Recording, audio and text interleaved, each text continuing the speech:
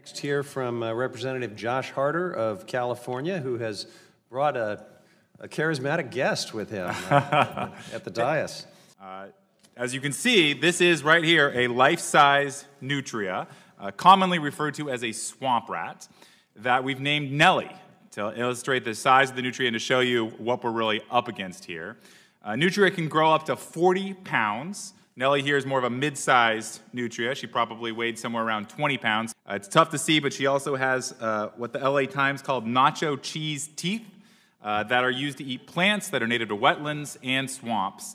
And Nellie and her friends really need these teeth because they eat a lot. In fact, nutria like this eat a quarter of their weight in food every single day. Uh, they're very friendly with each other. One female can lead to 200 offspring every single year.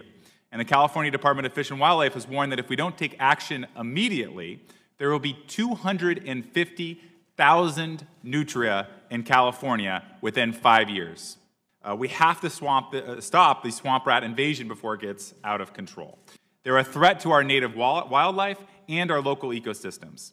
I've heard the real concerns of inaction from both farmers and environmentalists. This issue unites them in a way very few issues in front of this committee do.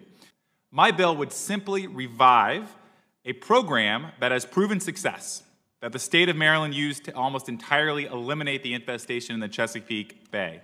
Uh, this program uses a variety of strategies to control and eradicate the invaders, and it ended up saving a ton of money in the long run in Maryland.